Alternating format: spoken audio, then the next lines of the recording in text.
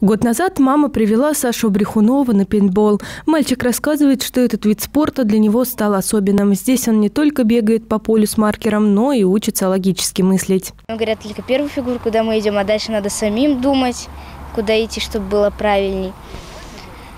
Ну, и так вот, надо бегать, перебегать все время, нельзя стоять на одном месте и прикрывать свою команду.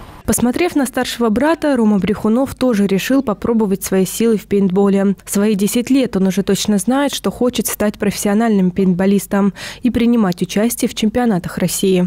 Мне очень нравится пейнтбол, и я хочу поехать в Москву на соревнования, э, потому что это очень весело и когда в тебя попадает, не больно. Секция детского пейнтбола в Сарове существует два года. В ней занимаются ребята от 9 до 15 лет. Тренер пейнтбольного клуба Олег Готовский планирует из воспитанников вырастить настоящих профессионалов. Он уже создал детскую команду «Реактор Лайт», которую в августе отправят на соревнования в Нижний Новгород. Я считаю, как тренер и руководитель клуба команда готова э, э, по своим техническим этим самым характеристикам, ну, как бы они готовы.